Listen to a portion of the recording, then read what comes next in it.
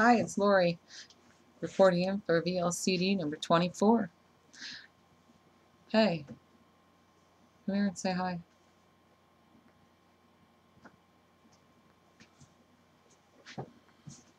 This is my husband. Hi. That's my husband, John. He's not very talkative. At least not on camera. Okay, so I think you've met everybody except for my oldest son, Josh. We'll get him in here one of these times. Okay, yesterday I was at 148 for the second day following a game, I guess it was. So um, I had a couple days where I didn't have a release, and this morning I didn't do any Apple Day or anything like that. And this morning I was 157 or 147. And did I say 148 the first time? Okay, well I was 147. Boy, that would have been a big jump, wouldn't it? Anyway, uh, so that's a one pound release um, since yesterday. So without an apple day. Um, don't know what's going to happen tomorrow. Wait and see. But so one pound. That's pretty cool. Um, don't really have a whole lot to say, I guess.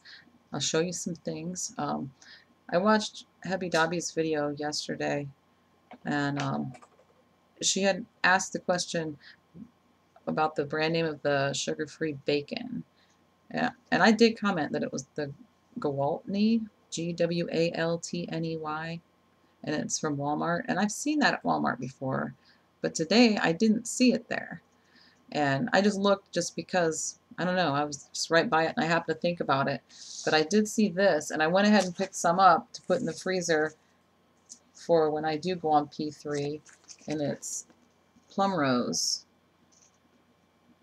And it, I got it at Walmart. It was like 3.88, I think. And I got two packages of this for in the freezer, so I don't know. It says it's sugar-free, most lower lower sodium. So and it's a 16 ounce package.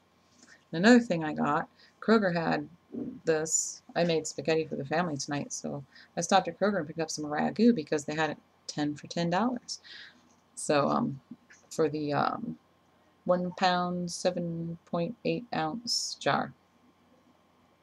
Whatever.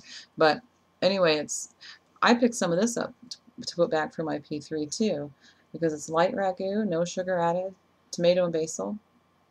And I reading all the ingredients, which I'm not sure I can do without my glasses on. Tomato puree, which is water and tomato paste, diced tomatoes in the puree, onions, salt, olive oil, garlic powder, onion powder, spices, basil, and natural flavor. So that seems like a pretty good choice for P, a, a P3 thing to be able to use. I picked up three jars of that. So sounded pretty good to me. Of course, a lot of things sound pretty good to me right now. um, I also got some potassium. Ew, potassium. Because I think I need some potassium. I'm drinking a lot of water and I think it'll make me feel better. But I don't feel bad. I don't feel bad. I just get feeling funny sometimes. But um, one last thing I want to show you has nothing to do with this protocol. This is what my son made me in school. Pretty cool, huh? Look at that. yeah. It's made out of plaster. Ooh, there's something falling off of it. it's made out of plaster. I think it's kind of cool. They, they put a hanger on it, and it's a thin piece of thread. It's like, that thing will break as soon as I try to hang it up. So it's got little jewels on it, and Okay, I just had to show everybody what what my son made me in school, since I don't have anything else to say. Um,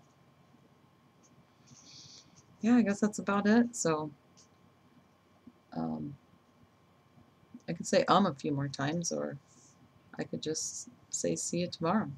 So see you tomorrow.